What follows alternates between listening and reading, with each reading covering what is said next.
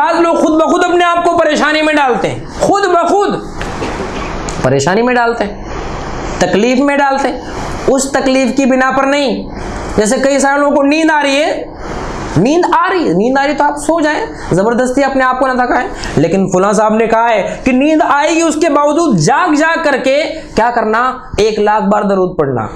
فلاں نے کہہ دیا ہے، بدعت پر عمل ہو رہا ہے۔ غلط کاموں کے اوپر تکلیف اٹھا رہے ہیں۔ رسول، کسی نے بتا دیا کہ فل رسول کا یہ طریقہ ہے کہ رات میں ٹھنڈی کے موسم میں بالکل اٹھو، ٹھنڈے ٹھنڈے پانی سے نہاؤ اور اپنے نفس کو پریشان کرو۔ تب تمہیں اللہ رب یہ پریشانی اللہ رب العزت۔ نبی طریقے پر جو تکلیف آئے گی، اللہ رب العزت اس پر آپ کو جزا دے گا۔ ورنہ آپ بولیں کہ میں ادھر ادھر سر ہلا کر کے اپنے آپ کو پریشانی میں ڈال کر کے اللہ کا قرب حاصل کر لوں۔ نہیں، اللہ کا قرب، گناہوں کے مغفرت اس ہوگی جب آپ کا طریقہ نبوی طریقہ ہوگا۔